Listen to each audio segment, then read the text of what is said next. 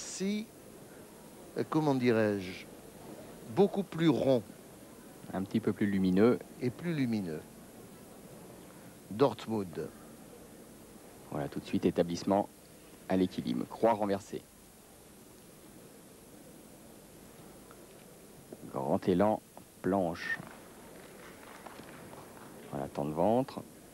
Et à nouveau une planche libre. Bel équerre. Établissement par la planche, bras fléchis jusqu'à l'équilibre. Pas mal fait. Voilà. Et toujours la pointe des pieds tendus. hein. Voilà, Très important.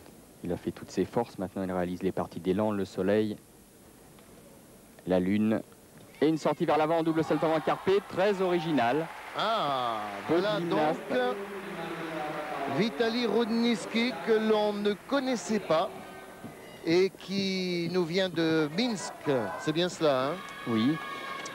Peu de gymnastes osent ses sorties vers l'avant. Rudnitsky, lui, l'a fait.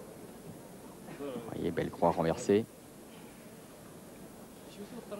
Ça nous permet de nous chauffer un petit peu avant les championnats du monde euh, que nous verrons en direct sur France 2, en direct du Japon l'année prochaine. Mais avant, il y aura les internationaux de France à Paris, Bercy, et puis d'autres grandes manifestations de gymnastique que nous euh, vous proposerons de très haut niveau.